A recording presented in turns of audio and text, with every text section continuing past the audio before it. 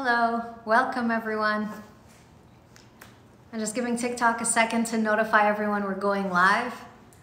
And then we're gonna hop right into another great session. So get your popcorn, get comfortable. We're gonna talk a lot about interesting things. And I'm gonna be answering a lot of questions.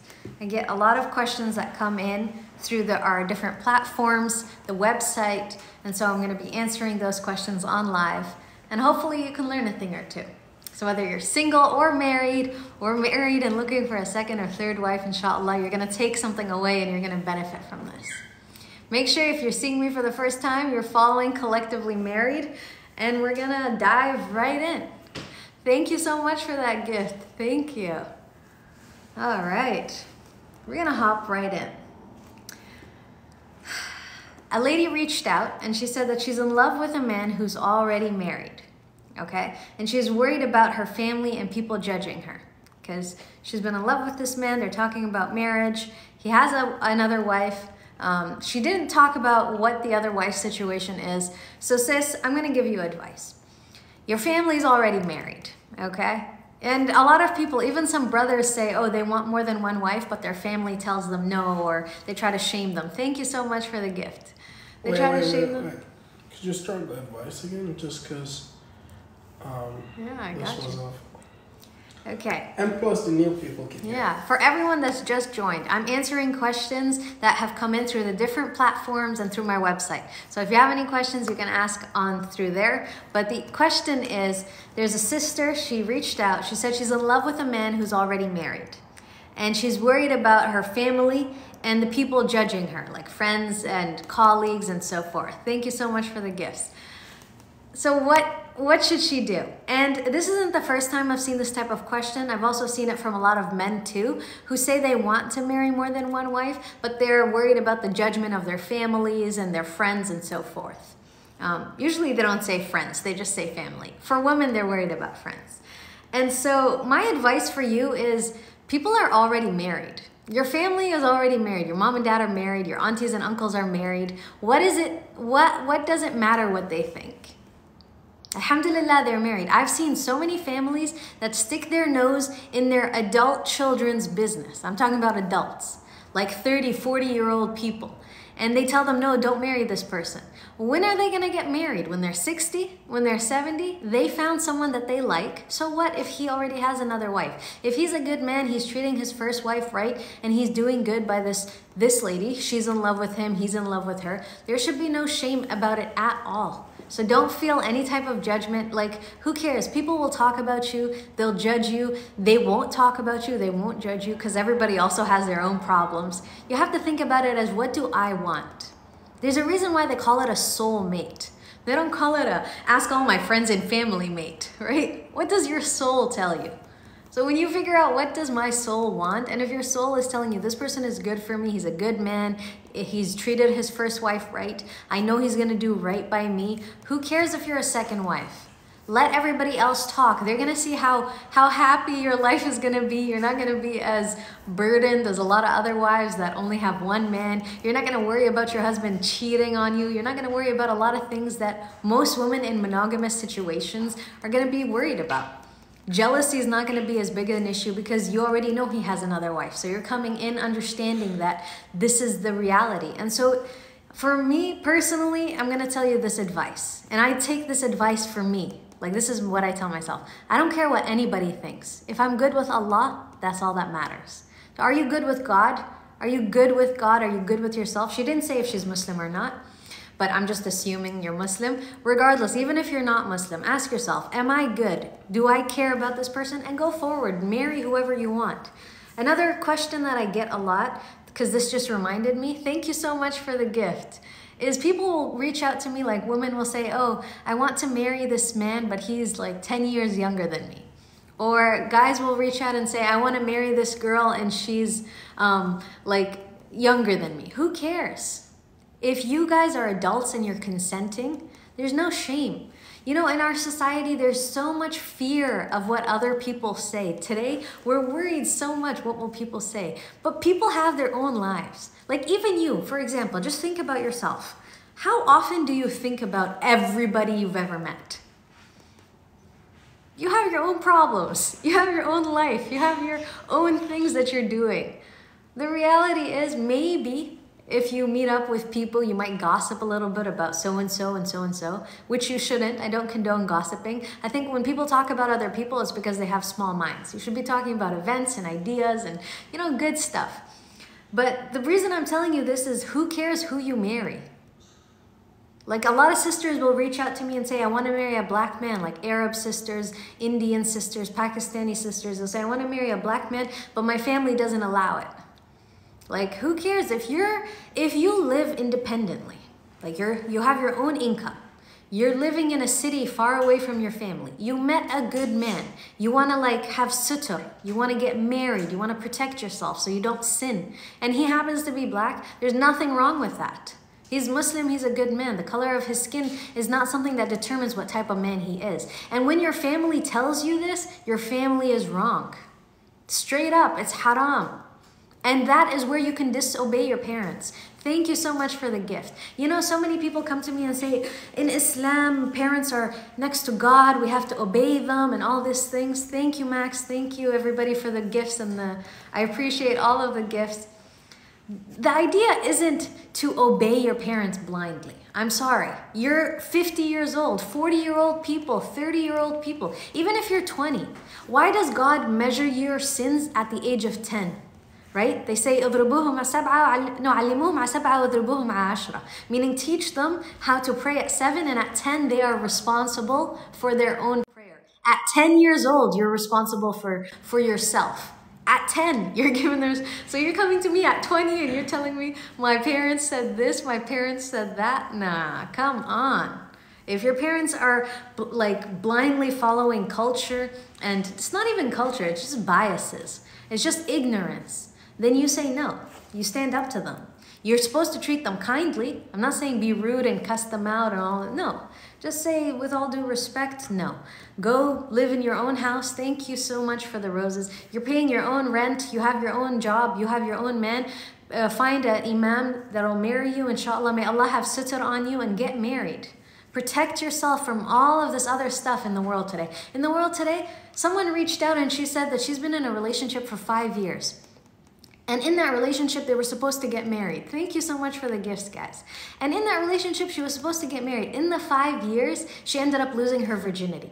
And they broke up. They didn't get married. So she gave this guy her virginity, and they're not getting married. It's, it's been a year or two now. And she's worried about her future husband. Let me tell you something, sister. And this is something that I want everybody here to understand. Only God can judge you. And Allah tells us if you sin, and He hasn't outed you, meaning Allah hasn't shown your sin to the world, it is not your job to open your mouth and tell everybody I sinned. It's a hadith. If you sin in the night and Allah covers it, you're not supposed to announce it during the day. And if you sin during the day, eh, you're not supposed to announce it at night. Meaning God is protecting you. You made a mistake, that's fine. You had the intentions of marrying this person, it didn't work out. I'll talk more about doing all of that. But people end up going into these relationships, having sex, following uh, like their desires because we're human. It's normal. I'm not telling you, like, go, you know, feel ashamed. It's normal to want to do this. That's absolutely, Allah created us like this. But He created an outlet for us. So now that we know we're responsible for our own brains and our own thoughts, if you know, if I listen to my parents and I don't marry this person, then I'm gonna have sex with this person and I'm gonna fall into sin. Or I disobey my parents, which isn't like a major sin when they're telling you to not marry someone. I marry this person, even if you end up getting divorced. It's better to be married and divorced than to not be married and be having sex all the time, just willy nilly. That's the truth. That is the reality. Marriage protects you. Obviously, you want to go into it and be like cognizant and committed and all of that. But there's absolutely no need to burden yourself. And now this sister that is has lost her virginity, the person that was going to marry her isn't going to marry her. She's stressing about her future husband. First of all, don't marry a man that'll judge you based off of your virginity. That it, like right off the bat. I've met millions of people. Let me tell you, there's no saints among men or among women. We're humans and Allah doesn't judge men differently and judge women differently. We all make mistakes. So forgive yourself, first of all. Have a relationship with Allah. Make sure that you ask for forgiveness. And when I say forgive yourself, meaning the shaitan sometimes doesn't let us forgive ourselves. And the reason why he doesn't let us forgive ourselves is because he wants us to fall back into it. If you never forgive yourself for doing something bad, you'll never get over it. And you'll always feel like, yeah, I'm that type of person. Like if, if you're someone who goes and robs people and then you never ever ask for repentance, you'll always feel like, that's just me. And you'll continue to do that. But if you actually have full repentance, you ask Allah to forgive you, but you also genuinely remove it from your heart and forgive yourself, Allah will give you better. Meet a husband that doesn't care about this stuff. Meet a husband that cares about you. Focus on becoming a good wife. What is a good wife? You know, sometimes in life we we are so obsessed with what we want in a partner. Like some men will say, I want the most beautiful woman. But they'll ask for the most beautiful woman at a detriment to all of her other characteristics. She'll be rude, she'll be disrespectful, she'll be like uh, cheating on him, she'll be doing all these other things. But he's so focused on her beauty, and because he had a beautiful woman, he will let go of all of his morals, everything he has, just because he has a beautiful woman. And he'll let her walk all over him. And more likely than not, that'll end in divorce or heartbreak, or sometimes worse, worse things happen. So don't focus so much on one thing. Build like a, a general personality where you feel like, okay, I have everything someone wants, you know? Don't let our society put you into a hole. That's why a lot of our, our parents don't talk to you about, like, they don't talk to you and teach you about sex. They don't teach you that it's normal to have these feelings. They don't teach you that if you have these feelings, the halal thing to do is to try to get married. They don't teach these things. Why? Because they're too shy. Like, I remember in biology class, I had a biology teacher, she taught so well. Every topic she was so invested. And then when we came to learn about the reproductive system and, you know, in men and women, she made us read the textbook. There's nothing to be ashamed of. Sex is not haram. Sex is haram outside of marriage. Inside of marriage, it is worship, meaning ibadah, meaning you get good deeds for it. I mean, you know, some people are running to the masjid. Brothers want to be in the masjid all day because they think, oh, I'm getting all this ajr. But you could just get ajr with your wife at home in the bedroom. Yes, you can. I know. Some people hear this and say, oh, this is unusual. But it's not. It's the truth. The Prophet ﷺ emphasized foreplay. He emphasized playing with his wives. He emphasized joking with them, laughing with them. He would spend time with each wife there's a hadith where he would spend time with, at the time he was married to four or five, that same night he would go and visit each one. Because it's ibadah, because women have needs just as much as men. You know, sometimes we go into society and we think, oh, women don't need sex as much as men, but it's not the truth. There's a lot of women out there that end up just going and cheating and having sex with random people because they also have needs just like men. So protect yourself. If you want to get married to someone, don't think, oh, I'm a woman, I can be patient. The shaitan is very patient. And the shaitan, thank you guys so much for the gifts. Thank you so much for the gifts. The shaitan will wait for you and wait for you, and eventually the devil will pull you in and will get you. It'll start with late night talks on the phone, and then later on it's video call, and then later on you develop more, and before you know it, you're not you're not just on a phone call anymore. You're meeting in public. You're meeting in private. You're starting to have intimacy. Then you get pregnant. Then there's so many problems. Why go through that headache when you can just say, excuse me, parents, I don't want to go down this path. I see two options. I disobey you, I get married, and may Allah, you know, protect me from all these sins, and inshallah, we'll fix our relationship. I'll treat you kindly because God told me to. Or I listen to my parents just to please their egos because that's what it is at the end of the day. When they tell you, don't marry that girl, I don't like her, or don't marry that man, he's black, it's because of their egos. They think they're better than someone else, and they're not. Just because they're your parents, they're not God. That's why there's a Allah at the end of the day. So don't do that to yourself. If you want to get married, get married. Like that's the, the best advice I can give you. If you're in a relationship right now, I don't care how haram your relationship is. I don't care how secret it is. I don't care if nobody knows about it. Get married. Get married. And don't don't think too highly of yourself. There's um, the story of Barsisa, and I'm sure some of you have already heard this story, but he was basically the most um, he was the most righteous monk. He lived in a city, and there were these brothers. They had a sister, and they had to go off to war or go off to travel or something. So they needed someone to look after their sister, to make sure she had food. Back in the day, food was brought the same day. They wanted her to stay inside the house. They asked the monk, you know, and when they first went to ask him, he said no. He said no because he didn't want his own desires to come in the way. He understood because he was a real person. Thank you so much for that gift. Thank you. You have to be real with yourself. You have to know, hey, you know, maybe I do have weaknesses towards women. If I'm alone with a woman, uh, maybe I'm not that great. We're not. The shaitan is, is pretty smart and patient. But you know what ended up happening? Is the shaitan came to him and told him, You're gonna let these brothers go and pick someone else to watch that girl when you know you're the best? When you know you're so righteous, you're never gonna do harm by her? Look at how he comes Shaitan comes to us in our own voice. He comes to us in our own, he understands exactly what our weaknesses are. They say it's a qareen. Qareen meaning he runs through your blood. Meaning, do you know someone that's been with you since birth? who knows everything about you, knows your weaknesses, knows what you do in the middle of the night when everybody's asleep, knows where you go when you don't tell anyone, he knows how you dress, knows everything behind closed doors. You think that shaitan isn't going to use your weaknesses against you? Don't be too full of yourself. Don't think, oh, I'm too good, I'm not going to fall. And even if you have good intentions, even if you have the best intentions, yeah, Innamal a'malu binniyat, I know, actions are with intentions. Thank you so much for the gifts. Remember, nobody cares in this world about intentions. What we care about, us humans, is action. So marry. If you can't if you can't afford an expensive wedding, you don't need an expensive wedding. If you are a brother or sister and you're watching this and you're in a haram relationship and you cannot afford a wedding, I'm going to tell you right now, go find an imam Go find a day, find your two witnesses, sit with the imam, and get married.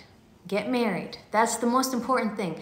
Save. If you want to have the big wedding later on, save. And while you're saving, you can have as much sex as you want. You don't have to have the stress or the guilt.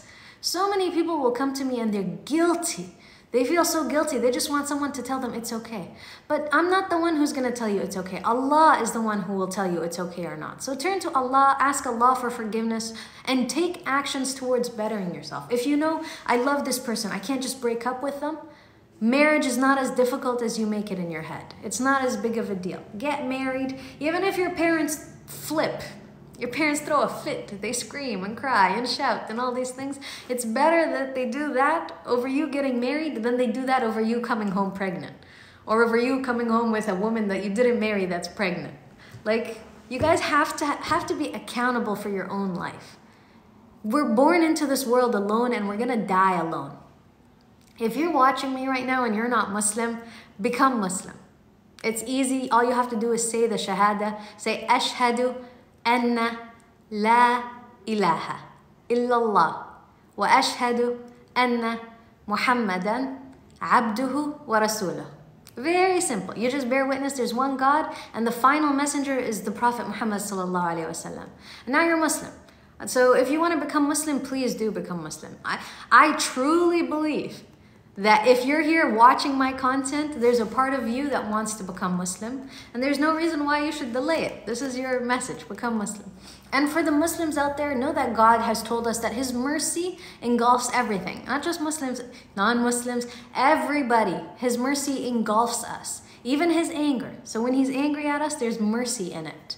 So trust me, be uh, brave. If you're scared of your parents reaction it's cool you know? I've seen couples where parents will say oh your grandma will die if you marry this person. Oh you know you'll bring shame to the family. Two years later nobody knows this family's name nobody cares because everybody's living their own life. So just make sure you're good. You're good with god you're good in your heart and your family you can work on that. But don't let your family stand in your way Someone reached out and said, Women today are so disrespectful and they don't want to submit. How will I ever find someone to marry? How do I find a respectful wife? Number one, uh, where are you finding these women? Because uh, it, whenever someone says these things to me, I always think, Who are you and where do you hang out? Because men are leaders. This is a gentleman. Men are leaders and women will follow a good leader. So if you want to have respectful women, first you have to check yourself. Am I going to clubs and nightclubs and strip clubs and I'm just going hanging out with random women in the street? Or am I going to find good women from good homes, women that are educated, women that are respectful? Because it's up to you. And it's not even that. Sometimes you go and you meet someone and she's from college, but she's disrespectful. Do you just sit around and let her be disrespectful just because she's pretty? Or do you say, Excuse me, no, I don't accept this behavior? Do you call it out? Thank you so much for the gifts. I appreciate them. You have to be someone that lives what you want. If you want a respectful woman, you have to respect yourself. There's some men that will hang out with women that will talk bad about them and take advantage of them and use their money and all of these things just because they like to be around this pretty woman. And the woman knows it. She doesn't have any respect for him. But he also doesn't have respect for himself. You know, women are more emotional creatures. We're emotional spenders. We act on our emotions. We even connect with each other based off of our emotions. It's why sometimes women will fight with each other easily, but also they'll make up with each other easily. They get swayed easily.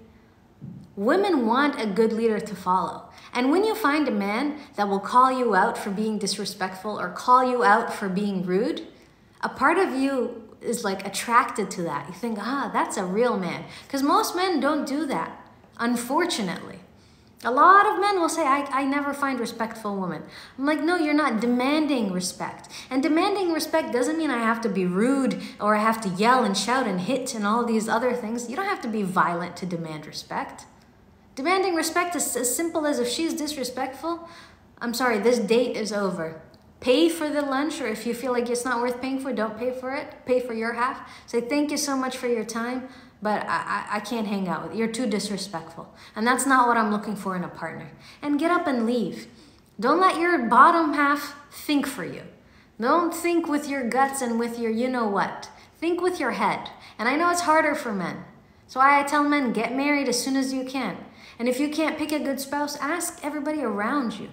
But the number one thing, you should have a list of what you want. You know, most people, they're so insecure and have no confidence that they just don't believe someone will like them. And what happens is the first person that likes them, they're like, that's the person that I'm to marry.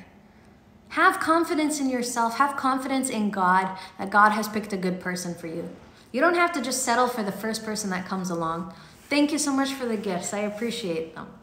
But when you do this, when you put in your mind exactly what you want and you say, I'm deserving of this. I said earlier in this in this live, it's a soul mate. What does your soul want? Who are you? What do you want for life? Like you have to answer all these questions. If you want a wife and you want two wives, three wives, four wives, that's okay. Don't be ashamed of what you want. If you're a woman that just wants to marry a man for a rich man, that's fine. Put that down. But I'm going to tell you, find more things. Write exactly what you want down. Don't just let, you know, beauty and sex and money be the forefront of what you want. You want someone that is loyal. You want someone that can take care of you. You want someone that will remind you of God. You want someone that will make you happy. But when I say make you happy, I don't mean like they literally make you happy. I mean like when you look at them, you think, Alhamdulillah, like God has given me a good spouse. Thank you so much for the gifts. You have to be that type of person that has enough confidence in yourself to write down what you want. And if you have problems with confidence, I've written a book step by step how to have confidence and how to have confidence. And there's a program with uh, detailed videos that'll teach you how to have confidence on my website, collectivelymarried.com. Go check it out. The program covers everything how to find your soulmate, how to get married, how to stay married, because most people don't know how to do that, how to have unstoppable confidence, and how to make money online from anywhere in the world. I put all of that in one program because those are like the most asked topics in relationships. And why I even talk about money is because lack of money is one of the biggest causes of divorce. Thank you so much for the gifts, guys. So all of that I put in one program. It's video content. You can go to my profile and you'll see my website right under www.collectivelymarried.com. Go check it out. But regardless, you have to be confident in what you want. Write down what you want and go out in the world believing that God will get that for you. Thank you so much for the gifts. You have to know that God's got you. I don't care what you describe. Allah has created the perfect person for you. But if you don't know who they are because you don't know who you are, how are you ever going to find them? You're going to see anybody and you're going to be like, oh, look at her, she's pretty. I'm going to marry her. You don't know what type of character she has, or you see a man and you think, ah, oh, he has money. But you don't know if he's kind or he's violent. You don't know what type of personality he has. You don't know if he's cheating or not. You don't know all these other things. You have to have more on your list. You have to write everything you want down. Wallahi, one year before I met my husband, I wrote down every quality I wanted. And one year later, he was the exact same list in a human form. It was like Allah was like, okay, give me this list. One, two, three, four, five, six, everything. And it was a list of maybe like 50 things I wrote down. 50 things that I wanted in a man. And he came and he was that list. So be careful, be aware of what you want, write that down. So when you're out, you're not wasting time with people who might not marry you. Like this girl spent five years in a relationship. She thought she's gonna get married. She gave up her virginity. All for what? At the end, they broke up. And they broke up over, she said something silly. What? Like, how do you spend so much time with someone and give something up? So, you know, because if you knew in the beginning, hey, maybe we don't agree on this thing, you would have saved yourself so much time. Thank you so much for the gifts. So many people, so many people have so much heartache, heartbreak, because they got together with someone just because they looked at each other, they had googly eyes, they never had someone give them attention before, they poured their soul and heart into a relationship that wasn't meant for, for that. I don't care if you're 12, 13, 14, 15. You know, when you know what you want in life, a lot of us, we know we want to be doctors or, or soccer players or we want to be, uh, you know, a model, whatever you want to be, you know it when you're a teenager. But because media is pumping these romantic shows, there are these romantic movies, you know, Disney movies, all of that garbage, and we just watch it, even young young kids shows. Like i see my kids watching watching shows i have to turn them off because i'm like why do they need to know about falling in love at the age of four? They don't need to know these things. But they pump all of that content into your head. And they always stop at happily ever after. They got married. They don't show you what happens after. And they do this, they hypersexualize you and make you so into romance that the first person you see, even if you don't really like them, You're not actually attracted to them, but you force yourself because you think that's what you need to do. But no, my advice for you is know exactly what you want.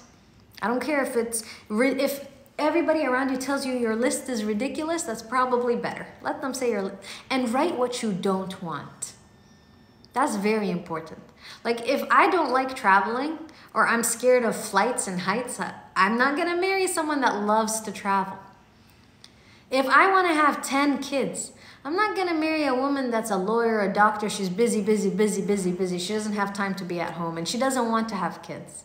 Or maybe I marry her and marry two, three, four wives. Like, you have to have all this planning and you have to be strategic because your time is valuable. Thank you guys for the gifts. Your time is more valuable than you even know. And I'm telling you this because I've seen so many people who will talk about their heartache, they'll talk about wasted time in relationships going in cycles. They are together, then they break up. Then they're together, then they break up. Then they're together and they break up. And they do this for years. For years. Because they don't have any self esteem, they don't have any confidence that they'll meet someone that they actually like. So they come back to this person that has hurt them. Yes, they give them attention, but they continue to hurt you and they're not what you're looking for. You don't break up with someone you don't want to be with. Thank you so much for the gift. I really appreciate it. Thank you. You have to you have to be someone that has confidence. Confidence is the first step in uh, excuse me. I'm to drink a little water.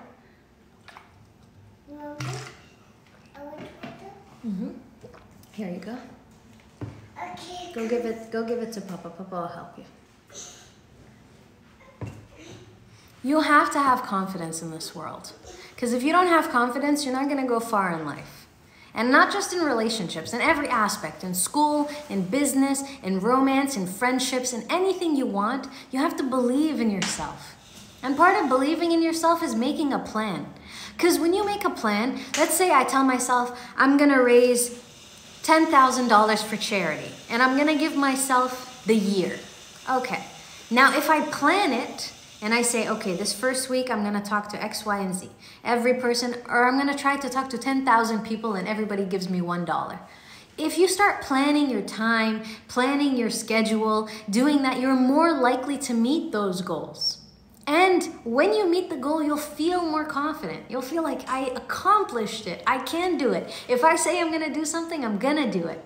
That's why you have to be strategic. Thank you so much for the gift. You have to know what you want. Whatever you want in a partner, write it down. And then you start your plan. What's the next thing? I know what I want in a partner. Who are you? Who are you? Do you like soccer? Do you like the environment? Welcome, David. Do you like do you care about animals? Do you care about immigration issues? What do you care about? What are the things that that are passionate, you know, that you're passionate about? You care about art, you care about filming. Go find events where people are coming together around the thing you care about. Thank you so much for the gifts. If you like to eat, go check out cooking classes. Go do things where you're more likely to meet people that care about those things. Thank you so much for the gifts, guys. Thank you. Because when you do that, let's say I am a big uh, supporter of the environment. I care about the environment. I go out to a lecture on uh, saving the turtles. I'm more likely to make friends and meet people that care about this thing because we have something in common. Thank you so much for the gifts, right? So if you are someone, now you know, okay, I have my list. This is my blueprint for my future wife, for my future husband. This is exactly who I'm looking for. And where am I going to find this person? If I care about all these things, I'm going to go to events where I can meet people. If you aren't married, that means your network doesn't provide you with the person you need to marry. Thank you so much for the gift. That means you have to widen your network. And a big part of widening your network is going out to new places. Thank you so much for that gift. Thank you. You have to go out to places where there isn't people you know.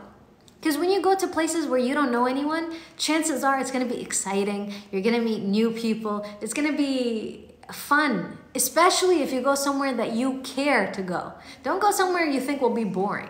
Don't force yourself to go to an event at your library if you don't like to read. like, you know, thank you so much for the gifts.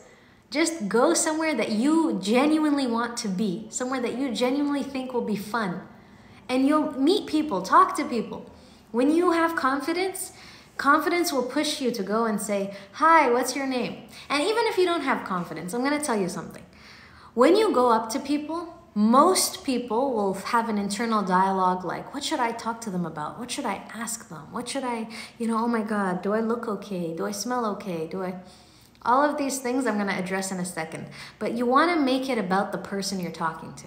If I meet someone, welcome Frank. If I meet someone, I want to be able to say, what are you interested in? What do you care about? Why are you at this event? How did you hear about it? Oh, you know the so and so. Oh, cool. How did you guys meet? Oh, you've done this cool project. What was that like? What did you learn? Do you come to these events often? Are there more like this? This is my first, you know, maybe you're new. Talk to them and make it about them. Don't make it about you. And a big easy part of making it about them, and this is a big part for confidence, is how you present yourself. You gotta look good, smell good. Thank you so much for the gift. Thank you. And I'm talking about looking good and smelling good. You gotta look your best. Most people, when they're going out, they try to do that. But you should go above and beyond to always do that because you never know when you're gonna run into someone. Just because you're going to the grocery store doesn't mean you might not meet the love of your life at the grocery store. But when you look good, you feel good, you feel more confident to approach people.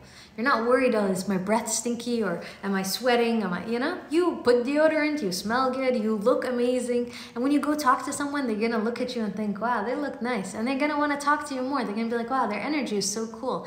And when you talk to someone about what they care about, what they're passionate about, they're not gonna um, forget you. What they're gonna think is, oh my God, you know, talking to that guy or talking to that girl made me feel so good. I want to talk to them again. I want to be in touch with them again. I want to hear from them again. I like hanging out with them. They bring a good energy. And all and you didn't do anything except ask them, "Thank you so much for the gifts." You just asked them, "What do you care about? What are you interested in?" You took a genuine interest in them.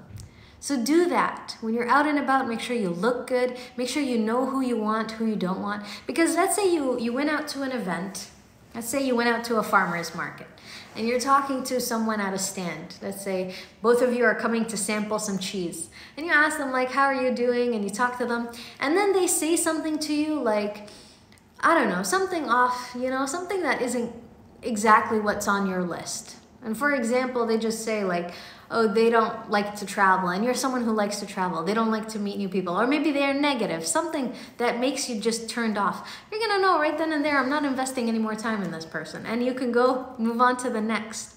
And the thing with events is you might go to an event and you feel kind of like scared. Don't be scared. Everybody at the event will have some level of anxiety to be in a new space, but you have to speak to yourself, you have to practice. Excuse me.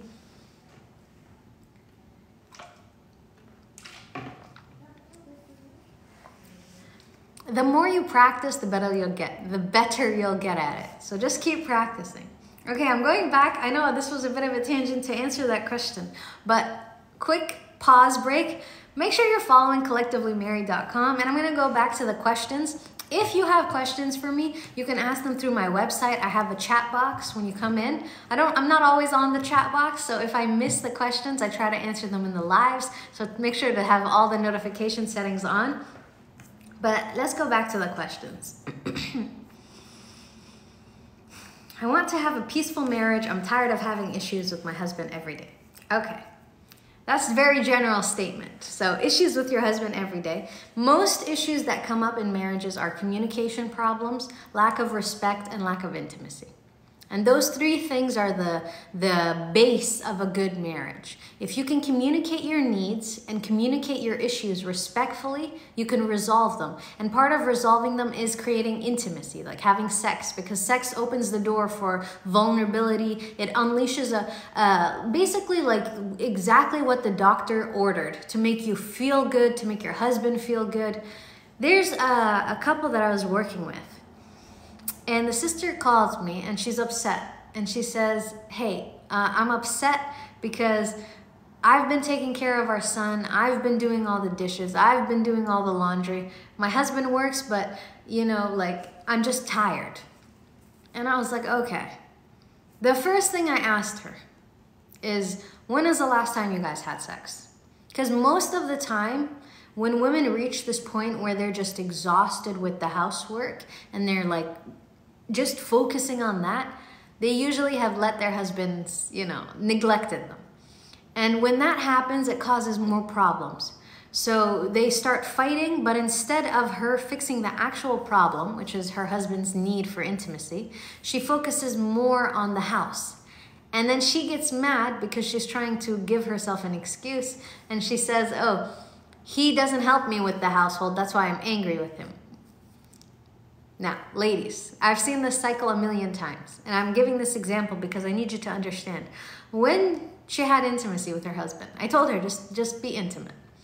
Do try that. I'm like, get dressed in something he likes, call me, and we'll we'll talk more after. Let me see what happens. Even though I know what's gonna happen. She calls me a few days later and she's laughing. So as soon as she calls me, she's in a totally different mood. I knew right then and there she had sex. And she told me, I was like, what happened? She told me, I listened to your advice. I, sh- I showered because she was basically just wearing some random stuff at home. She got dressed in some shorts she knew he liked. He came home. As soon as he saw her, she was cooking dinner. He went, he didn't even say, and he didn't ask her for anything. He took the son, he went and gave him a bath and put him to bed. He went and did the laundry. It was there, it needed folding. He folded it, and he was helping her because he knew what was coming. And they had sex and they were fine. They were able to talk about the problem. A lot of times, like, women sometimes can be unfair to their husbands. Your husband's asking you for maybe 10 minutes a night, not that much. You give him that 10 minute and he'll help you. He'll be happier, he'll be less stressed. When he's going out and he comes home, a lot of times if he's not met with food and sex, because that's what he needs right away. He was out, you don't know what he saw. You don't know who he interacted with. You don't know what urges the shaitan pushed him towards that he fought, meaning he had jihad in himself. And he's coming home to his wife. As his wife, you're gonna open the door, you gotta be the most beautiful woman there, smiling in his face, making him feel like he made the right choice to not follow his shaitan urges because he has a beautiful halal wife for him at home. You feed him, you take care of him, there's no problems. So this lady that's saying that, you know, there's so many issues, I want to have a peaceful marriage, the first thing I'm going to ask you is be intimate with your man. And for men, make sure you're not just using your wife and then not making sure she's good. Take care of her as well. Even if she says no thank you, just insist. You know, make sure your wife is good. Because when you're both not stressed, let me tell you, the hormones that release in your body, there's so many scientific studies on this They make you less stressed. They make you happier. They make you more emotionally connected. So, for ladies that say, I don't feel an emotional connection with my husband, that's because the intimate physical connection is missing. God is uh, the best of creators. He didn't say have sex because just like that for the man's need. There's wisdom behind it. And when you go study the science, you see that. When you have all those hormones flooding your system, you feel good. You're able to sit and resolve issues patiently. And the more you have sex regularly, the more you'll feel good. You ever see even on TV shows? Thank you so much for the gift. They'll say, oh, she's so uptight. She's so whatever. She needs to have sex. Then the next day she comes in after she has sex and she's so happy. It's the same for men and women. That hormones and all that good, feel good hormones, all of that is important for your marriage. Your marriage is a long term commitment. And when I tell ladies, when your husband comes home, have food and sex like be an option, you don't know what he is out there seeing. Like, if you open up your phone, you'll see so many naked women on Instagram. You go out in the streets in the US or in any of these Western countries, sometimes even in, in Eastern countries, you see women that are showing their cleavage, they're showing their legs, they're walking around half dressed, like tempting men. And yes, they should lower their gaze, but even if he lowers his gaze, his phone is there. Everywhere he turns, there's something. And when he comes home, you're supposed to be that like second for him, peace for him. Don't bring problems, don't focus on all of that, because that's not going to help your marriage. The problems should be after the food and sex. Talk about the problems, because then he'll be more relaxed and more open to help and, and resolve the issues. And communicate. If you can't tell your husband, hey, you know, I, I want to have sex, I want to orgasm, I want to feel good. Don't lie. God, I don't know why women dig this hole for themselves. Like, I get it. You want to make your man feel good. But if you just be patient and be honest, he'll actually make you feel good and he'll feel amazing. Like, instead of just lying to him. Don't do that. Don't be that person. Lying is haram, even in the bedroom. So don't lie. Do not do it to yourself. Okay, I'm to go on to the next question, but for people that are joining, make sure you follow Collectively Married. I'm answering questions from the website, talking about marriage and singledom and everything you can already think of. Um, someone said, I have wronged my wife in so many ways by repeating the same things. Now I have this fear that she's about to leave me. How can I control the situation? Brother, you know you wronged your wife. Now you're scared she's to leave you. This is a, a message to everyone, wives and husbands. If you mistreat someone long enough, they're to leave you. If you withhold sex and food from your husband, he's to leave you. If you withhold sex and intimacy and gentleness from your wife, she's to leave you. If you mistreat each other, that's to happen. The, the best advice I can give you don't try to control the situation. You're already thinking about it wrong. What you need to do is you need to resolve the situation. You need to understand and take accountability for mistakes. He doesn't say what mistakes he's made, but I'm just to assume. Like if you've cheated, then you need to make sure that she feels like she's the one that, you know, I understand.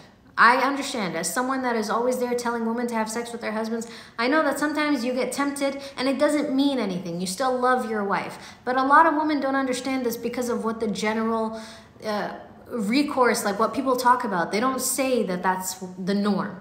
They try to make it seem like, oh, he cheated on you, he hates you. That's not the truth. I know a lot of men that cheat and then they will regret it.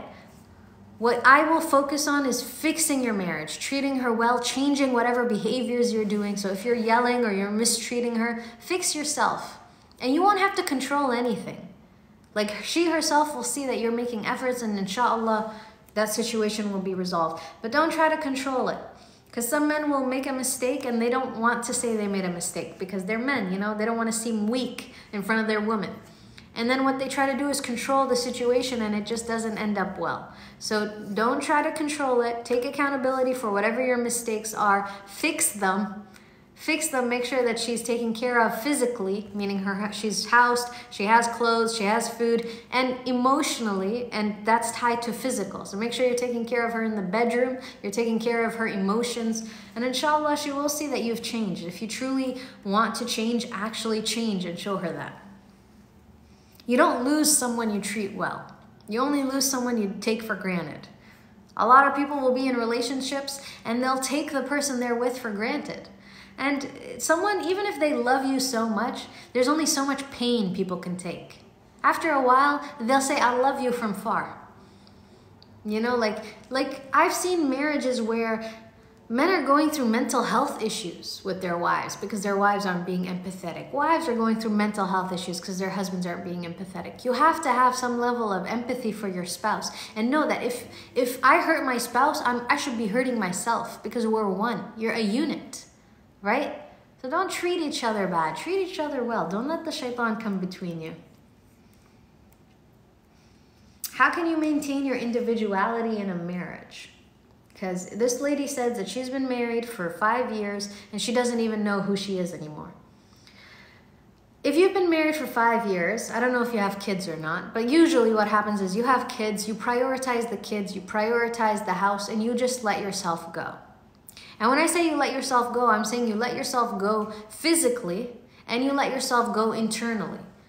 Before you got married, you wanted to get married, right? That was the driving force. For a lot of men and women, especially women, it's the driving force that, you know, is instilled in us since we're young girls, like you have to find a husband.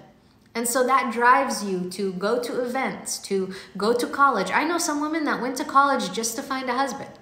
Like it drives you to go out and do things in the world because you're hoping to meet the man that will be your husband. And that's why you even went out and did these things. Now that you found the man that's your husband, now you stay at home. Just mentally, you have to unwire, like rewire your circuit. You have to tell yourself going out, now that I have my husband, I should find out what do I like to do? A lot of women don't do things that make them happy, and they don't have time for themselves to think, who am I?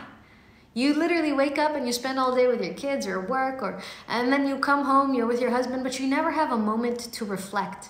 In our culture in Islam, the Prophet ﷺ used to go to the mountain, sit by himself for days, reflecting on his life. Like, you should have time. I'm not telling you take days away because not everybody has the liberty to do that, but you can take hours away you can go work out at the gym if you like. You can go for a walk. You can go do something, read a book, go to the library, go. And don't just say, I'm going shopping and that's my alone time to buy groceries for the house. That's not alone time. That's just you doing another item on your grocery list. Do things that make you happy because that's where your individuality is. And when you're happier and you come home, let's say you took uh, three hours a week, you like to go do uh, open mics, you like to tell jokes, or you like to write poems, or you like to go to the university. There's a lecture there that they do for free. You like to go listen. Go do those things. And when you come home, you're going to be more supercharged to give back to your family. You're not going to be so easily agitated. You're not going to be easily angry and yelling. And sometimes I see wives yell over something so silly, like because they've reached their maximum. They need to reset. They need to have their own space. They're like overwhelmed. And women are burdened by marriage more than men. And I'm saying by marriage because they have to take care of the kids, the household, the food, but you don't have to be. If you if you prioritize your needs and wants and manage your schedule a little bit better, it really does come down to time management and priorities. You prioritized finding a husband. That's why you pushed yourself to go out even when you didn't feel like going out. You push yourself to go to this one's wedding and that one's wedding so somebody will see you and tell their son about you. Like so many women will do the most to get married. But why don't you do the most to make yourself happy? And then when they when they get to the end and they want to divorce and they want to leave and they want to go again, they're going to do everything I just said. They're going to go work out so they look good. They're going to go find events to go to that they enjoy so they can find a partner. Like just do it in your marriage. That's your individuality. And for husbands, it's the same. Like, yes, it's important to go to work. And yeah, I know you come home, you're tired, but there should be something that you like to do just for you. If you like to play basketball with the boys or play soccer with the boys or play cricket, go do that. Even if you don't know any guys, find a league nearby and go join. It's good for your health and you'll be able to do something you enjoy. Like men need to have an outlet for their testosterone. They need to do something. Back in the day, they would go on hunts, they would go on these long trips to find food and come back, and they would face different things. Nowadays, you're sitting in front of a computer all day. You don't get that rush. Maybe you get it from the gym, but when you go work out or you go play sports, you, you get rid of that energy. So even when you come home, you're not ready to fight with your wife, like fight, fight, fight over stupid stuff. So guys, take care of your individuality. It's important for your marriage. Thank you so much for the gifts. Um, by the way, for those of you, I'm looking this way because I'm looking at my laptop and I'm going through the questions. If you have questions and you need help with anything, you can always go to my website, collectivelymarried.com. I have different programs on there that can teach you how to find your soulmate, how to get married, how to stay married, how to have confidence, and how to make money online from anywhere in the world. If you can do those things, you'll be good, you'll be set for life. And it's a video format, so it's video courses. You can go buy the program, get all of that, and there's step-by-step lessons. Like I tell you, okay, day one, you have to go do this homework. So you're not just watching, but you have to go and implement and do things. Thank you so much for the gifts, thank you. So when you go and you do that, that'll help you. But also if you have a question you want me to answer, you can go ask in the chat box on my website. So collectively married, make sure you follow. And when you click on my profile, you'll see my website right under. Go to the website, ask whatever question you have, and I'll try to answer it. If I don't get to it in this live, inshallah, I'll answer it in the next live, but you can go ask your questions through there. And that's what I'm doing right now. I'm just answering the questions that have come in. So how do we keep the spark alive in our marriage? They've been married a while and now it's a routine. This happens for couples. And even if you're single, listen up. This is important. When you get married, you fall into a routine. So the best thing, thank you so much for the gift. The best thing you can do is have elements where your routine has some fun in it, right? Women need to have fun. I see a lot of men that just pay the bills and they're like, that's enough. No, your wife needs excitement. If you make her life exciting, she'll make the bedroom exciting. So focus on that. I know a lot of men, that's the priority. But if you want to keep the spark alive in your marriage, you have to do things that you both like to do. And I'm not just talking about like staying at home. Go out, go check out new events, go experience things together. If you've never gone um, paragliding, go do it together. If you've never gone hiking, go hike together. Because you get to see each other in a different environment, see how you guys act in a different scenario. Go play games. Like, go play laser tag with your wife. Like, go play paintball with your wife. Go do something fun, you know, something that gets you guys out of your usual routine you know, something that can get your blood rushing, get you flowing. When you have something that instills that type of energy in your relationship, it makes you feel more alive. And that is where the spark comes from. It's it routine kills the spark because you're barely having conversation. You wake up, it's like, okay, are you going to work? What do you want for breakfast? Okay, come home from work. Oh, how was work? How was your day? Where are the kids? Okay, like boring and every day you're having the same boring conversation. Like change things up. Go do things that are exciting. Go check out different events. That's the best advice i'll give you because if you don't want to have a boring marriage you want to spark you have to work. Marriage is work. Just like you wake up you get dressed you go to work you look your best you try to get a promotion because you want to you know be like the best at your job. It's the same for your marriage. You have to work in your marriage. You have to invest in your marriage. When you wake up, don't just be in your pajamas all day. Brush your teeth, put on a little makeup, wear a cute outfit. You know, when, when ladies get married in a lot of cultures, they'll, they'll show you the whole woman's wardrobe, and it's the most beautiful outfits. And then you come five years later, and what is she wearing? Like a pajama. She's wearing something that's stained or ripped. Or... No, wear nice clothes at home. We focus so much on looking our best in front of strangers when the only person that you should look your best in front of is your husband. Everybody else doesn't matter.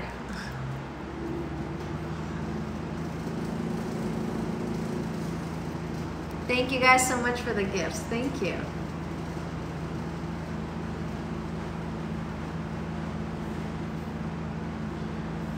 How do you know when you're ready for marriage? Uh, you don't earlier, uh, Do you want 73. it up or No, it's good. Thank you. off? Yeah. Um, what did I ask? How do you know you're ready for marriage? That's a very interesting question. Every person is different, but I'm going to tell you. You know you're ready for marriage when you want to get married. If you're asking yourself, Am I ready for marriage? And the only things that are stopping you are external, like I can't afford a $150,000 wedding or a $500,000 mahar or whatever then maybe you need to find a different woman.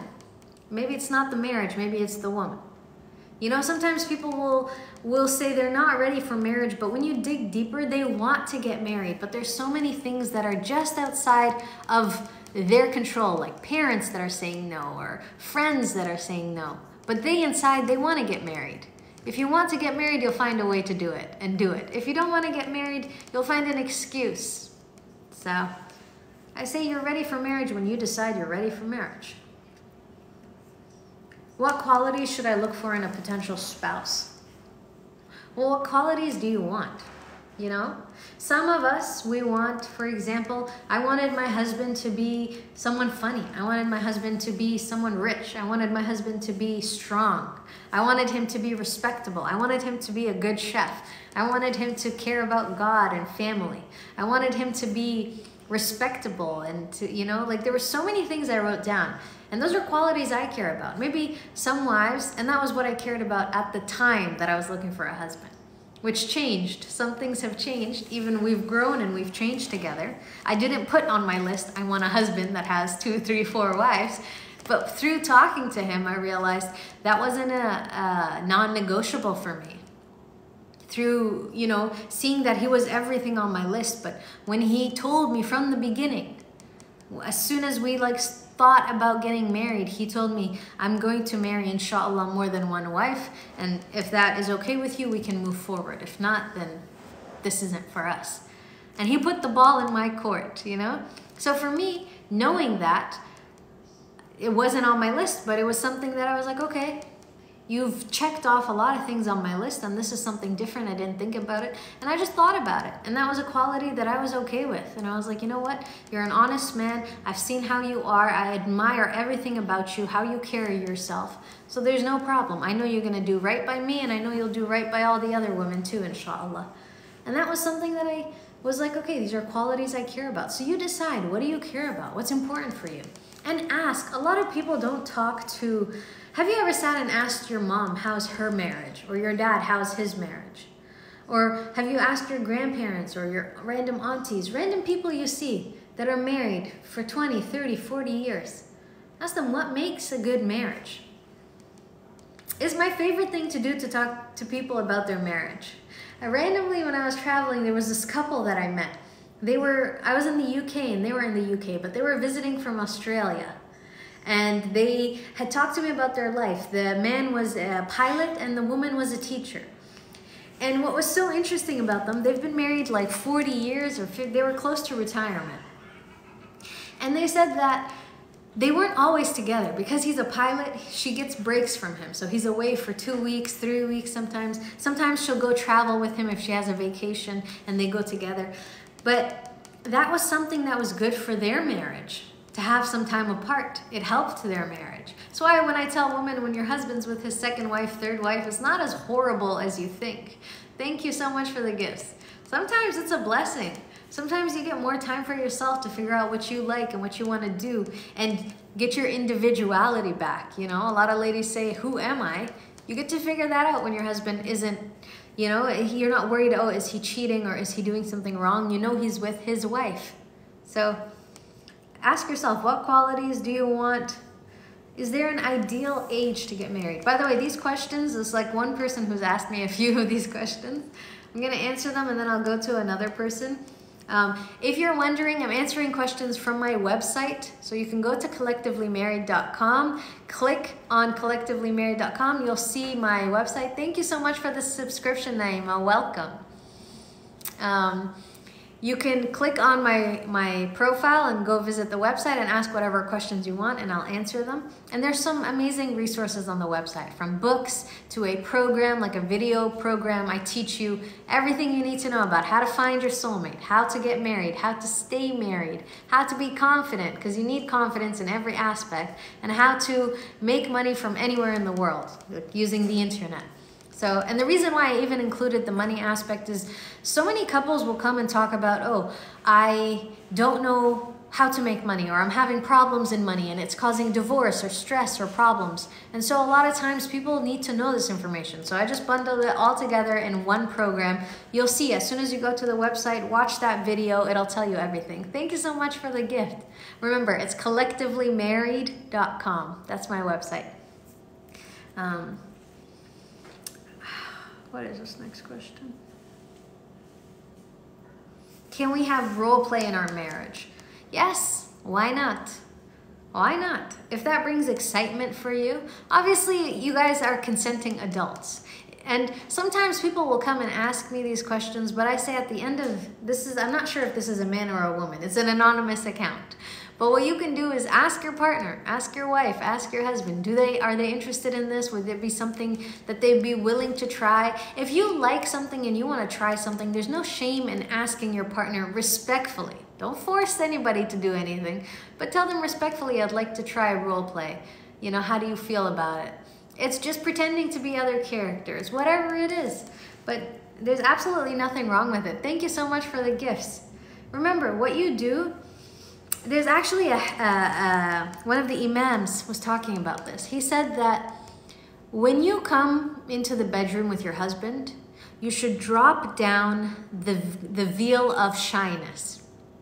Meaning, you, and then when you're done with the bedroom, you should put back the veil of shyness. And that, what he was saying is, when you, basically he's saying when you're in the bedroom, be a freak.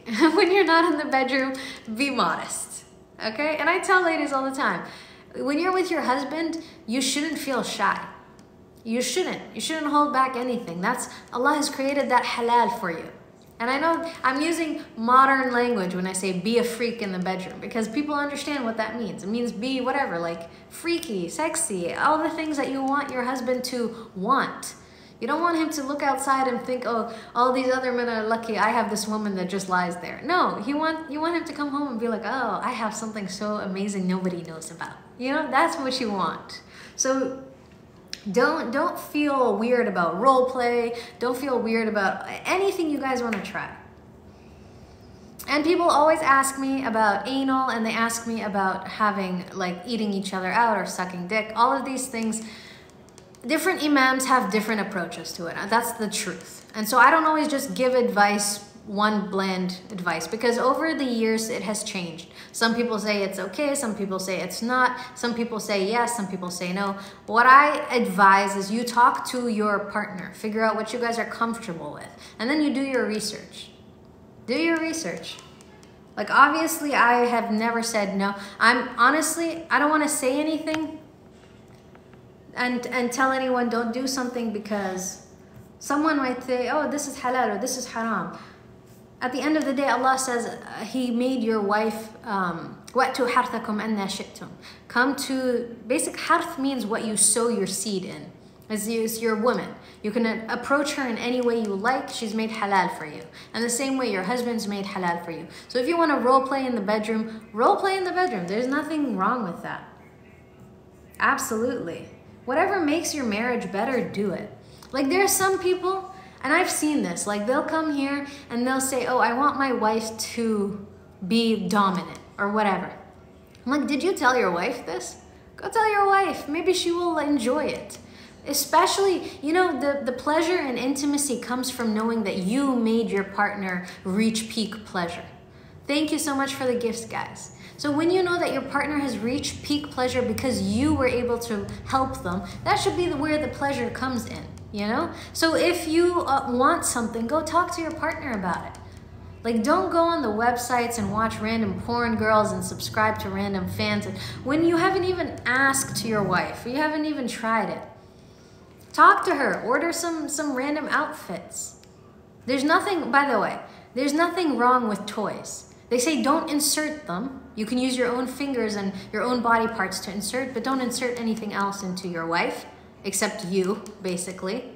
But there's nothing wrong with using different toys to get excited to make your marriage better, especially today. And when I tell you especially today, there's there's all types of weird and random perverted things out in the world.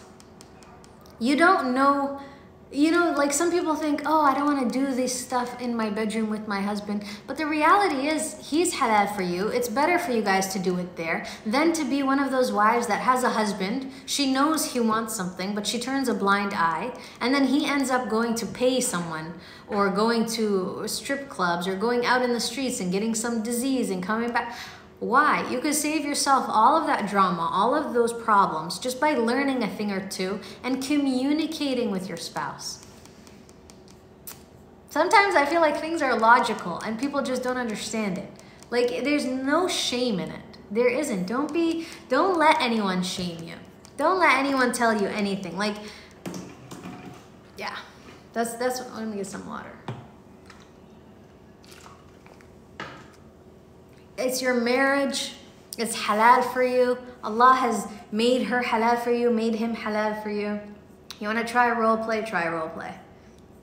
Okay, let's keep answering the questions. Thank you so much for the gifts. By the way, if you're just joining, we are answering questions from the website. So if you have any question, you can go to Collectively Married, click on my profile, follow. Thank you so much for the gifts. And go to collectivelymarried.com. You can ask a question through the chat box and we'll keep answering this.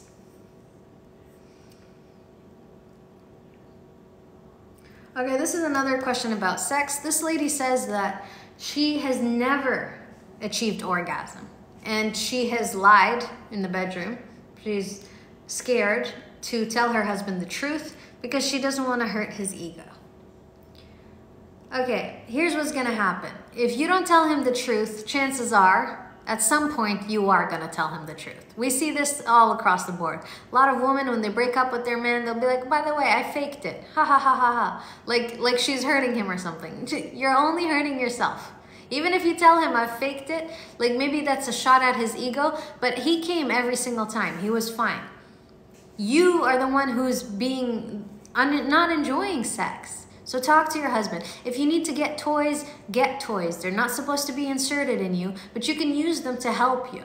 And husbands, focus on foreplay. The Prophet ﷺ emphasized foreplay. There's a hadith on it. He said, never get on top of your woman like an animal.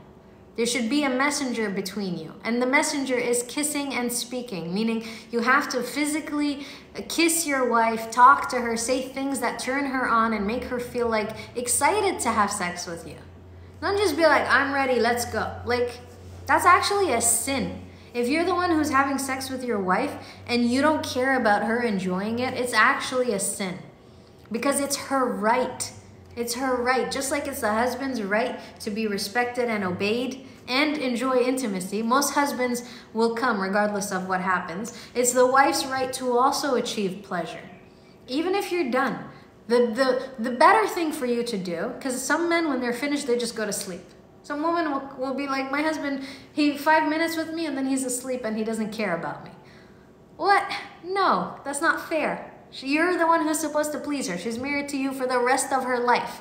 If she doesn't get pleasure from you, where's she going to get it from? Where? Nowhere that you would like. So be the one responsible for her pleasure. Be the one that's invested. Even that'll turn you on. It'll bring the spark back. Someone was asking how to bring the spark back. Show interest in your wife achieving pleasure. Like, don't just make it about you. Okay. What are the keys to a successful long-term partnership? Okay, this question is funny. For me, the keys for a successful partnership is sex, communication, and respect. Nothing that can't be solved if you have these three things. If you respect each other, you're not going to do anything to hurt each other. If you respect each other, you're going to respect each other's needs, which means if you need to have sex, you're going to do that. And if you know how to communicate, you're going to communicate when you're unhappy in a respectful way. So if you have those three things, your marriage is going to be fine. That whatever you face, if you face your husband cheating, or you face your wife cheating, or you face infidelity, you face um, death, or you face losing your house, whatever you face, because life is long. You don't know what you're gonna face. I've, I've known friends that were married and their husbands were depressed for three years. I've known clients that were about to get married and the man they were about to marry died out of nowhere. Like, random things happen to us in life. So if you can do these three things, know how to communicate And you can't know how to communicate if you don't know what you want. So figure out what you want, communicate it with respect, and sex is important because of the intimacy it brings, the hormones it releases in the body. All of these things are, they go hand in hand to having a good partnership. So make sure you got all of those. Someone said, what can we do together for fun? Ask each other, brother. if your wife wants to learn something, if your wife wants to do something fun, you guys figure it out together.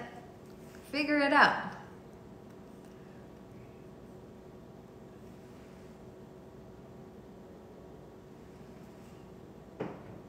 Okay, someone reached out. She said, My husband is all fine, but he does not like to take me out, me and the kids.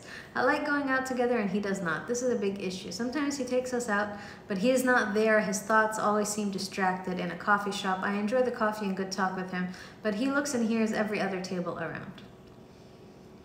Okay, first of all, I'm going to tell you this. Most men, when they go out with their kids, the wife focuses too much on the kids and not enough on the husband. So focus first on just you and your husband going out. Leave the kids at home. Have your sister come take care of them, your mother, someone, and the kids will have more fun. And you guys will get to have a better relationship together. And figure out, don't just talk, but ask him about his day. Ask him what's on his mind. Take investment in him. Sometimes men just want to break and they just want to chill. They want to relax. They, they are stressed. Talk to him and figure out what he's interested in. Sometimes men don't like to hang out with their wives because they feel like every time they're hanging out with their wives, they feel um, like their wife is just bickering or telling them, do this, do that, do this, do that. So figure out, communicate. This I just said it. You have to have communication, respect, and sex. So communicate this with your husband. Tell him respectfully. Like, hey, I noticed that you don't like taking us out. I wouldn't even say, I noticed you don't like taking us out like me and the kids. Because I know why most men don't do it. Like they want to be out and free and stress free. Welcome. And thank you guys for the gifts. So just focus on you and your husband. Focus on giving him the attention. He might need something. And then once in a while, you can do a day with the kids. Just you take them out, or you guys go do something that he enjoys. Maybe your husband enjoys playing soccer. Don't go to a cafe. Go have him and the kids kick a ball around and do something that he enjoys, you know? And that way the kids get their energy out. You can also laugh and have fun with them. So it really did just.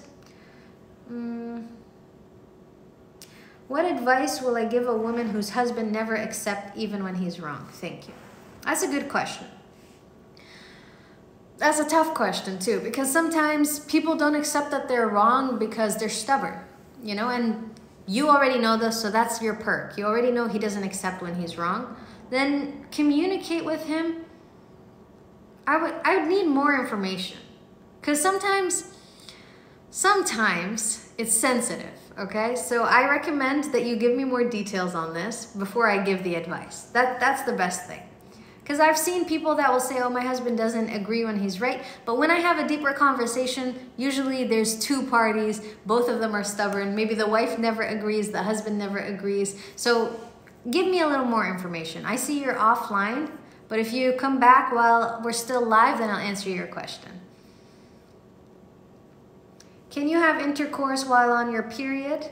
You can't have intercourse while on your period. It says like you shouldn't Absolutely. In Islam, no. Not on your period and not after you give birth when you're still bleeding. But you can do other things. You can be intimate with your husband. You have hands, you have other body parts. If you want to be intimate, you can use all your other body parts too to be intimate with your men.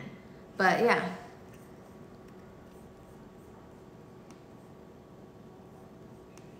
Oh, you're welcome. You're welcome. And for everybody that has sent, you know, I, I skipped over them just so I can answer the questions, but everybody that sends thank yous for answering the questions, you're very welcome. Um, I love helping couples. I think there's so many issues that can be solved, again, with just communication, respect, and sex. A lot of marriages can solve a lot of issues with those three things. But people don't talk about this enough, especially in the Muslim world. You know, everybody's like, sex is haram, sex is haram, have shame. Actually, in Islam, you should have no shame when you're teaching. Absolutely, no haya. So for those people that come and try to shame people to not talk about these things, and they're the same people that'll go watch porn, they're the same people that'll go have sex outside of marriage. They don't have shame behind closed doors, but they don't have shame from Allah. And they come and they say all these things. Thank you so much for the gifts. But I'm telling you people, because I know you guys are here listening, you're smart. These things, even if you're single or you're married, if you implement these things, inshallah, they'll help your marriage. And when I talk about this stuff, I've seen it help so many couples. But there's no one that talks about this. I've had imams and sheikhs reach out to me from uh, prominent communities and they want to marry a second wife, they don't know how to. Or they have sex issues with their wife and they don't know how to. So just make sure to, to, to prioritize that. Today, there'll, there'll be so many messages that'll come and they'll tell you, especially women, they'll tell women like, you have to compete with your husband. Thank you so much for the gifts, everyone. It tells you that if you want to be happy, you have to be basically like your man. You don't have to. Thank you so much for the gifts, guys. If you actually want to be happy in life, like truly want to be happy in your marriage, tap into your own energies. If you're feminine, there's nothing you can't get by being sweet and having sex with your husband. Like nothing. Men will will I've seen it on TV shows, I've seen it with couples, I've seen it with people I work with, with friends in my marriage. If you want something, go ask your man. Ask him sweetly, you know, like dress in something nice that you know is enticing for him and get what you want. But instead, men, women come, thank you so much for the gifts. Thank you. Women come head to head. Like, you're going to be a man, I'm going to come and tell you what to do. And you know, a big part of it is, is mentality, it's framework, it's how you perceive things. If you spend so much of your energy cooking and cleaning, a lot of times men aren't asking you to cook and clean. Your husband, most of the time, is just asking you to come to the bedroom and be intimate with him. Come sit. I've seen wives that are cooking and the husband will say, Come, come sit with me, come. She's like, Wait, wait, I'm cooking. And she did that because she saw her mother do that. So she ingrained that in her head. But that's not the right thing to do. The right thing to do is to leave the house, leave the kids, go be with your man. You can manage your time better and do that. When you do that, thank you so much for all the gifts. Thank you. When you do that, when you prioritize your man, this is what's gonna happen. When you prioritize the house, you're gonna tell yourself he's a kid. I have to yell at him. I have to, because you've taken the role of your mother. You know, you've seen your mother do that. You've seen your mother prioritize cleaning and cooking and all these other things, and she never sat down with your father. And so you take that mentality and you you see your husband as a child, so you yell at him and you're disrespectful, and then you have problems. But if you prioritized your husband, and I promise you, there are so many women that prioritize sex with their husbands, the husband will come and help her clean. The husband will get up and cook. The husband will go take the kids out so she gets a break.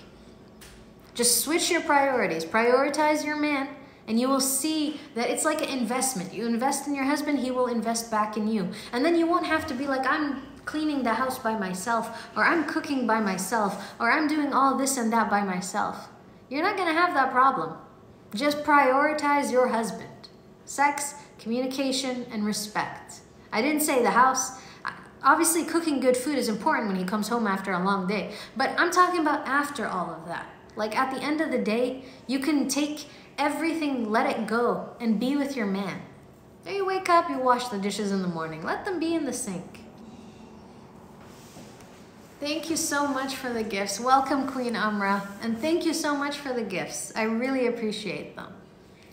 I think most people feel shy to talk about these topics because they're not raised on these things. And most people don't don't analyze their childhood and analyze why they think the way they think, why they act the way they act. The reason you act a lot of times is because that's what you saw.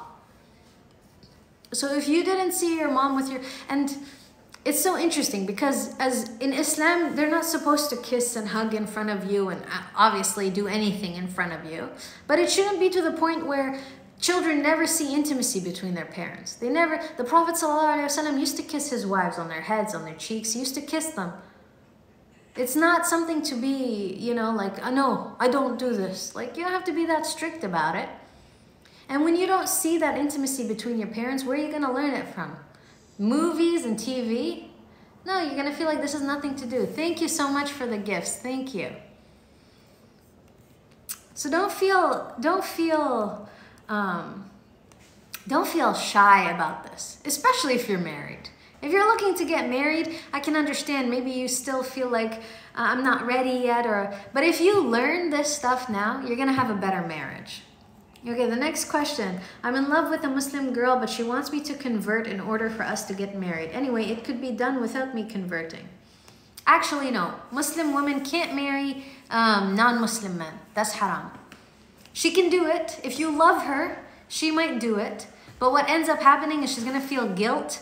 She's not going to feel truly happy in your marriage. And she's going to feel like um, she's just not going to feel right. And I know this because so many women will come to me and say, I'm dating a white boy or I'm dating a non-Muslim boy and I want to marry him. And, you know, will, will someone marry us even if he's not Muslim? Like, if he loves you, why isn't he learning about Islam and converting? Learn about Islam and convert, brother. If it doesn't matter for you either way, it doesn't matter because you, you haven't said it. But it matters for her, I would say convert so you can marry her. Convert, learn about it. Islam is the true religion. It'll help you out in every aspect of your life. And if you're following me and you're watching my content, then there's something deep inside of you that's already drawn to Islam. So take the next step and convert. You found a Muslim woman that you're in love with. You watch my content. God is surrounding you with Muslims, so He wants you to become Muslim, inshallah. Become Muslim and make it easier for you guys. Can and, I add something? Yeah. And I was gonna add, don't set yourself up for failure. Okay? I don't care how beautiful she is, how cute she is. Don't set yourself up for failure. And the reason why I say that is because of this. If you being a Muslim is important to her, she might be able to ignore it and marry you. But after the first year of her saying, hey, why don't you think about it? And then the second year, hey, why don't you be Muslim? And then the third year, hey, why don't you be Muslim? This could end up being something that by the fourth, fifth year, you're annoyed. Mm-hmm. You're like, hey, like, I'm not Muslim. Don't tell me about it. And then she'll be like, well, I, I told you before we got married. I always wanted you to be blah, blah, blah. So don't go into something knowing that she wants something that is a big deal to her that you're not willing to grant. If you're willing to grant it, that's awesome, you know, alhamdulillah. But if you're not willing to grant it, do not set yourself up for failure. I love that. I love that actually. And I didn't even think that far ahead because because in my head, I'm going to tell you honestly, like I tell Muslim women that are dating non-Muslim men, you're kicking yourself in the foot. You're, you're really hurting yourself because you know you want a Muslim. That's why I, I stress you have to know who you want and what your non negotiables are. So when you're out in the world, you don't just make googly eyes at the first person and think, yeah, I'm going to marry him. You don't know if he's Muslim. You don't know what. You know what you want inside. You've always known what you want. Just write it down before you go out and meet people. But if you already meet someone, I would say definitely think about it. Don't marry her if you don't plan on being Muslim and you can see this being a real issue for her. Because in Islam, like, like in the text, there's nowhere that it's debatable. It's clear. Muslim men can marry women of the book, meaning Muslim men can marry Christian women, they can marry Jewish women, or they can marry Muslim women. Muslim women can only marry Muslim men. And the reason for this is because Muslim men are considered the leaders of the household. And back in the day, and even today, the idea is the religion of the father will pass on to the children. And so she will feel that and she will be reminded of it.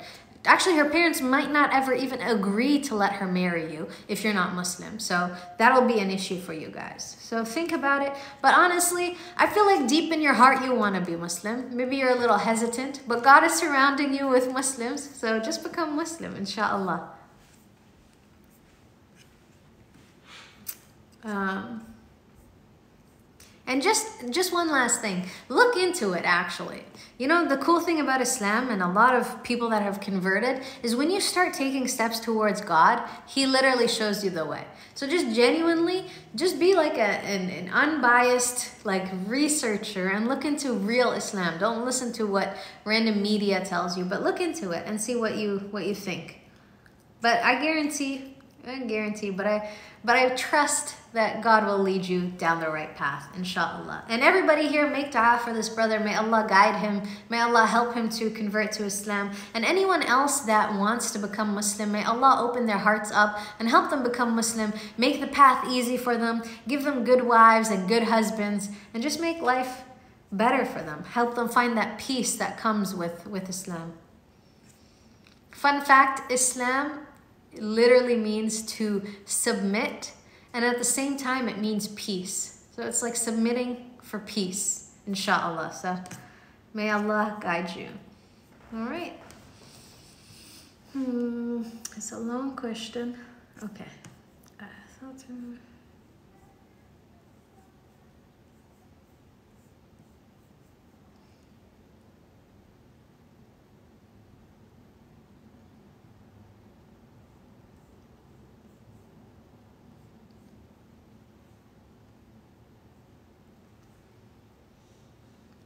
Okay, so someone cleared up, um, she cleared up her, her, this was the person who was saying that her husband doesn't like hanging out with the kids. So sister, you're saying here that you see other men having fun with their kids when you're in the mall, carrying the kids on the shoulders and all that. This is something that I see common in a lot of marriages is we compare our husbands too much to other people. Like there's women that compare their husbands to him and him and him.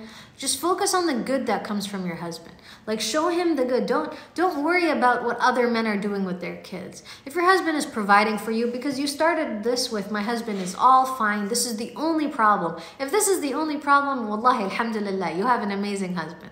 Maybe he doesn't like to hang out with the kids or play too much with them. That's fine.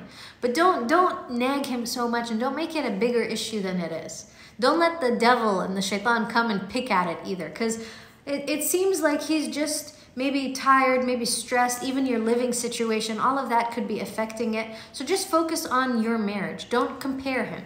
Usually, what I tell couples that are in any type of problem, if you face problems with your spouse, sit down and make a list of 100 things you love about your spouse.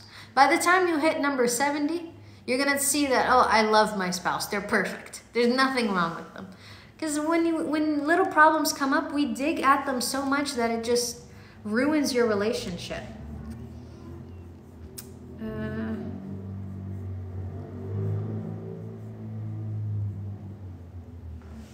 so so someone reached out and they're looking to get married to a German woman. I'm assuming you're in Germany.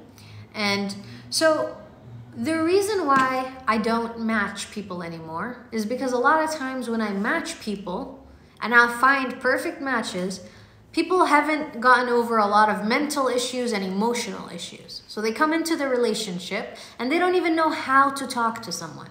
And so what I focus on instead is basically creating a guide to help you find the perfect soulmate, get married, stay happily married, have unstoppable confidence, and make money online from anywhere in the world. I put all of that in one program and I put it on my website at collectivelymarried.com. It, it's a video format course, so you literally go watch videos and it has homeworks for you. You do the step-by-step -step homework, and inshallah, by the end of implementing everything, you'd have learned how to find your soulmate. Because most people will come and say, oh, I want to find, find me someone in Germany.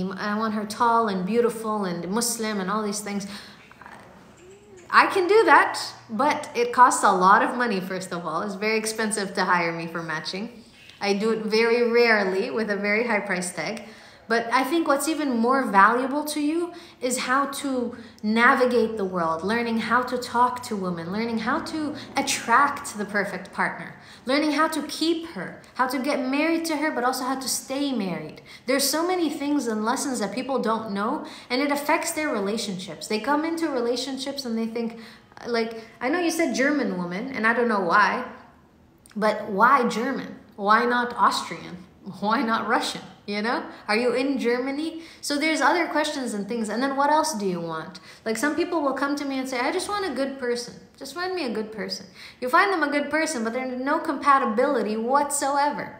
So the reality is you have to learn how to find your own partner. You have to learn how to identify this person might be the most beautiful woman in the world, but she doesn't cook, she doesn't respect the husband, she doesn't submit, she's rude. She, those things aren't going to make a good wife. So I can look at her and say, mashallah, she's beautiful, but I don't want to marry her.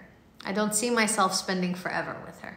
That type of knowledge only comes from learning how to do this, how to, you know, prioritize you and what you want, how to be confident when you do see someone that you think is the most beautiful woman and she's akhlaq and she's deen and she's kind and she's patient and she's just perfect. How do I talk to her? How do I attract her? How do I marry her? All of these things come from learning. So if you want to learn, go to collectivelymarried.com, my website. I have books and I have the program. For people that don't like to read books, they want to watch a video. It's it's 5 lessons, 20 uh, chapters each lesson, 30 minutes a day max. Max. If you spend 30 minutes a day, by the end of 5 days you'll learn everything you need. And it's just about implementing. Cuz most people Wallahi, you have all the tools you need to find what you want, but you just don't have the motivation. Sometimes you need someone to be like, okay, do this today, do this the next day, do this the next day. That's all you need because we grew up in school systems where we had teachers who gave us homework. Today you're gonna do this, then you learn the homework. Tomorrow you're gonna do this. So it's the same way. It's basically a school that'll teach you how to find your soulmate, how to get married, how to stay married, how to have unstoppable confidence, and how to make money from anywhere in the world because lack of money is the number one reason for divorce. You can check it out at collectivelymarried.com. So if you click on my profile, as soon as you go to my profile, you'll see my website right under there. Whew, we've been on for about an hour and a half, right? It's been live. Yep, exactly an hour and a half. Wow, that was good. So I'm gonna wrap up soon. I'm gonna tell you guys one more time. If you wanna find your soulmate, you want to get married, you're married and you wanna fix your marriage, you want to make money from anywhere in the world, you wanna have confidence because confidence will help you. You know, billionaires, they have one thing in common. All of them are confident. Doesn't matter what's the field. If you become confident, It'll help you in business, in school, in friends, in love, in everything. So if you care about learning, and I feel like you people are the type of people that care about learning. If you stayed through the live up to now, you care about learning and you care about your love life, you care about your marriage, go check out the resources at my website and I'll see you guys soon inshallah. It is collectivelymarried.com. You click here, you'll see the website right under my profile picture, collectivelymarried.com. Thank you again for all of the beautiful gifts. Thank you for all of your questions. I hope I answered everybody, inshallah. And may Allah bless you guys. If you're single, may He give you the best wife, the best husband. If you're married, may He make your marriage the best marriage, inshallah. And may Allah bless you. For those that are Muslim, May Allah make you steadfast on the deen. And for those that aren't Muslim, may Allah open your hearts and show you Islam and the beauty of Islam and bring you into the fold, inshallah. Thank you so much for your support, for your love, and I'll see you guys soon, inshallah. Assalamu alaikum wa rahmatullahi wa barakatuh.